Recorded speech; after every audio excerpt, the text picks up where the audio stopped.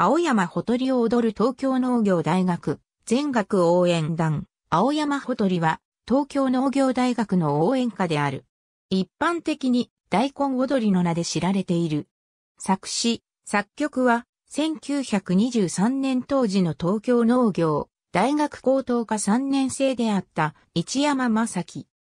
東京農業大学は1898年から1946年まで渋谷常磐松町にキャンパスを構えており、この歌は同地にキャンパスがあった1923年に作られたことから、常磐松時代の農大と農業への誇りを北海道湯の川温泉付近の曲を取り入れながら歌われている。青山ほとりは校外には大根踊りとして知られている。これは農大の応援団である東京農業大学全学応援団が大根を持って歌いながら応援を行うことに由来している。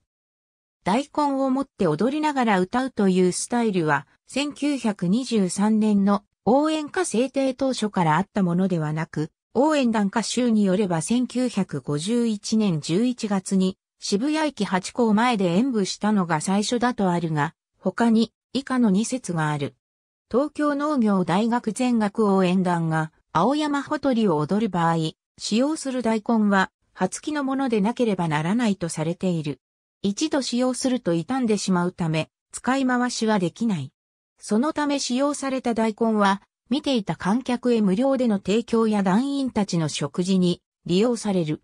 その他にも、農大一校や農大二校、農大三校の併設校でも応援団によって歌い踊られている。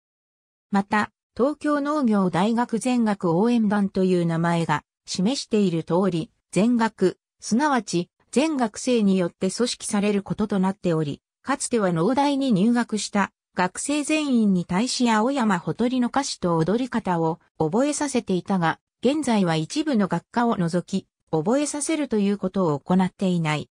しかし、農大の象徴とも言える存在であり、現在でも学生の飲み会から卒業生の結婚披露宴や葬式など様々な場面にて歌い踊られている。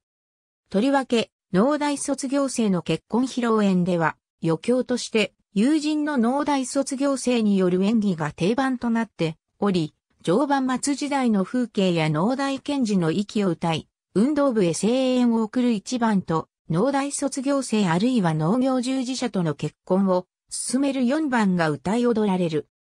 東京農業大学全学応援団による応援時や結婚披露宴での出し物など正式な場での踊りでは、当然大根が使用されるが、正式な場での踊りではない場合、大根をビール瓶やペットボトルなどの梱包状のもので代用して歌い踊る。ありがとうございます。